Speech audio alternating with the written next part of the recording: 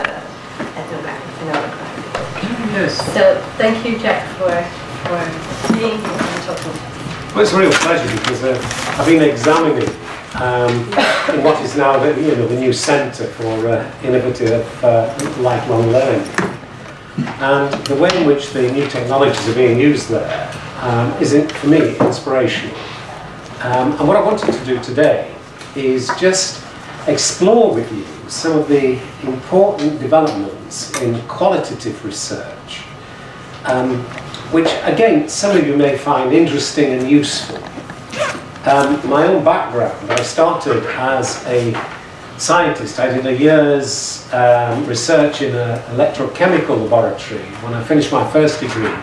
So I was very used to the quantitative methods of controlled experimental design and the use of the statistical analyses for actually looking at the significance of data.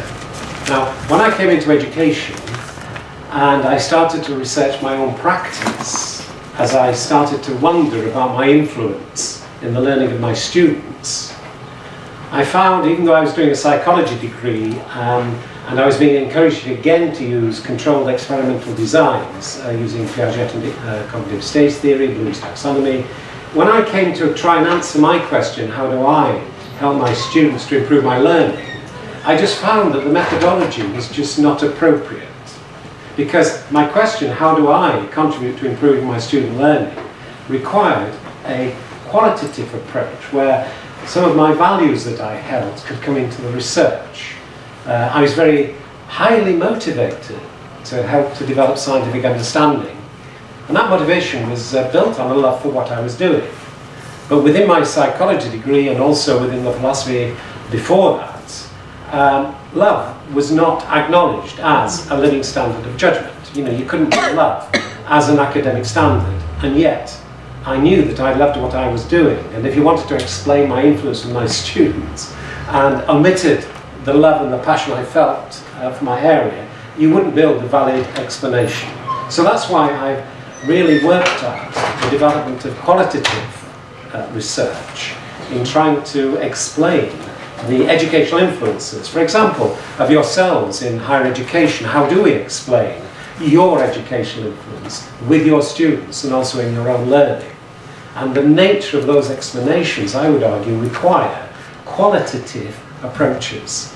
Now, before I show you what is available for you, freely available on the web, uh, in relation to qualitative research, and in particular the accounts of researchers like ourselves that have already got their master's degrees through these approaches and also their doctorates. I was going to ask you, and I do this in each of my keynotes, um, I was going to ask the audience if you have come with any question or issue of concern that you would like me to address. Because I find that the influences in my keynotes around the world are often dependent upon the audience's response where they're coming with something that interests them, or they've got a question that they want to ask. And sometimes it's only at the end of the keynote, and they get a very limited question time, and uh, often I'm not given the time to answer it. So I do like just to pause at the beginning of my keynotes, just to ask, have you come with any uh, question or issue that you would feel that you would like to address just in the next, uh, say, 45 minutes that we're together? Because it will be your questions, I think, that will be lasting in terms of the educational significance of what I do with you today. So is there anything that any of you have come with where you're feeling, yes, I would like just to address this issue or ask this question? In terms of, yeah? And if you give your name so I get to... Anita Rambuti Wong. I'm from the Faculty of Law and Management. Um, uh, like you said, I mean, with our training, I mean, we're so used to these uh, tools like SPSS. No matter what you, what kind of data you collect, you're just such in a rush to go and punch everything in because it's just such an easy tool to use. Yeah. But with call methods, uh, it's like you have such enjoyment in collecting qualitative data. It's so meaningful as an experience. But when you don't have the confidence with tools, uh, qualitative um, analysis tools, it, it's, a, it's a bit of a deterrent before you even embark. You're thinking, how on earth am I going to get all this analyzed? It's just ra rather intimidating. And um, the few tools that I've come across, I mean, you, you need to pay for them. Sometimes you can't get to use them properly, and then you're, you're running late on your project. And so it's a bit of apprehension Yeah, so that issue of the validity. Of the uh, narratives that are produced through qualitative research uh, is something I'll address, you know, carefully because uh, in my last 16 years at the University of Bath, 32 of my doctoral students were awarded their degrees, uh, doctorates, using these qualitative approaches, and we developed very rigorous processes for enhancing the validity of the explanations which fit in with actually the legal profession where it's actually got to develop literally evidence beyond reasonable doubt. You know, if you're in a court of law with a jury, what you've got to do is to produce, if you like, a narrative which places beyond reasonable doubt that the person is guilty or innocent. I, do I make sense there? Now, the qualitative research that I do is based on a similar principle of you put it beyond reasonable doubt that the explanation that you're giving and the evidence you're bringing literally is beyond the reasonable doubt, you know, so it, it actually stands. So that's a really good area for us to um, focus on. Are there anything else that you're feeling, yes, I, I would like to make sure that this is covered so that we actually get the most that we can from this time together.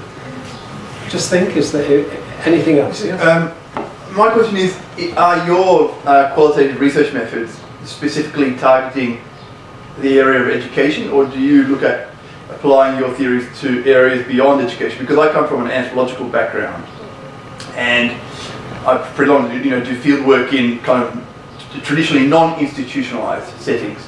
So I'm just uh, curious if your theories are also applicable beyond the, the sector of education. Yeah, and again, um, some of my uh, students come from um, industry. Uh, you know, I'll show you where you can access the doctorates. Uh, the police service, uh, health, um, the processes of validity actually come um, from a social scientist uh, called uh, Jürgen Habermas, who developed a critical theory of society. So I've tried to work on processes of validation that you will, I think, recognize as valid in your own area using qualitative research. Let, so let's get any other questions that you feel that yes? It's not a question, it's more an issue.